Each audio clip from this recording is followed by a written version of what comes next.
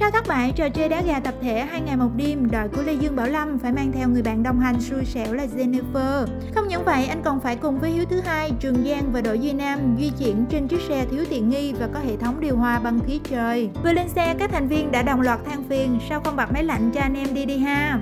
Bày đặt ra dẻ quá à, chỉ lo cho mấy anh quay phim thôi, dễ xịu lắm đó mà còn đang ở đất khách quê người nữa. Khi lướt qua chiếc xe đầy tiện nghi của đội bạn, Hiếu thứ hai ga dẻ răng mát quá, đồng thời chơi xe bên kia ngập hơn. Tuy nhiên chỉ vài giây sau, nam rapper liền quay vào và đổi giọng thừa nhận Nóng nha, xe này nóng nha sau khi hoàn thành thử thách bún thang, cả đội lại di chuyển đến địa điểm tiếp theo và tiếp tục cuộc trò chuyện. Lê Dương Bảo Lâm chia sẻ về quá khứ vất vả đã làm nhiều nghề để mưu sinh. Anh cũng tự nể chính mình vì không hiểu sao có thể làm cả gia sư trong khi không biết cái gì. Ngay lập tức Trường Giang liền thực hiện ngay một phép thử 9 lần 7 bao nhiêu.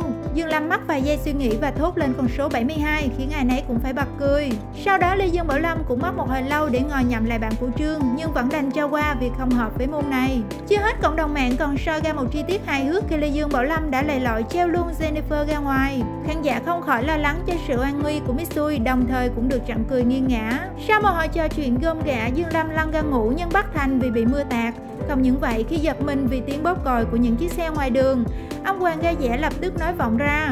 Anh ơi, nhỏ nhỏ càng lại cho em ngủ được không ạ? À?